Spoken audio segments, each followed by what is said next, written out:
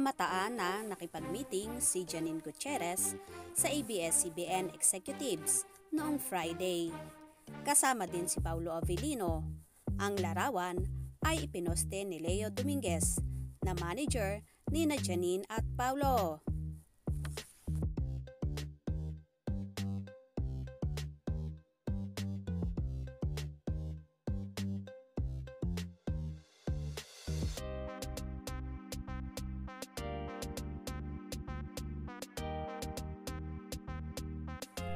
Ayon sa naging caption ng poste ni Dominguez, Thank you Sir Deo and Rinal for the congratulatory dinner for Paulo and Janine Gutierrez.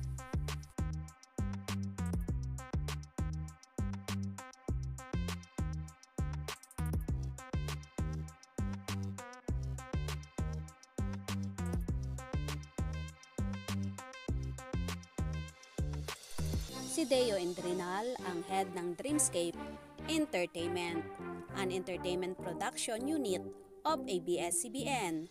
Sa naturang larawan, andun din ang Dreamscape Creative Manager na si Rondel Lindayag and talent handler na si Ray Lanada.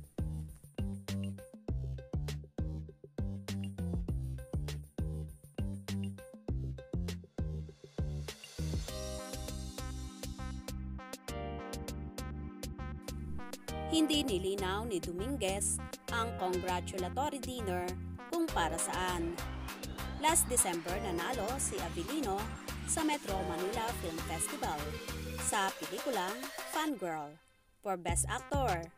Samantalang si Janine Gutierrez, dalawang trophy ang natanggap sa kanyang pelikulang Babae at Baril na naging Best Actress, isa sa Gawad Urian Award at FAMAS Award at sa nasabing dinner meeting na to, tuloy-tuloy na nga ba ang paglipat ni Janine Gutierrez sa Kapamilya Network?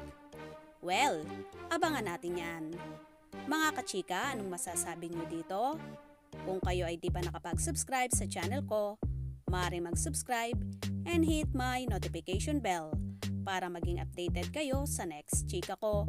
Salamat sa patuloy na pagsubaybay. Hanggang sa muli, ito ang inyong Showbiz Chikadora. Paalam!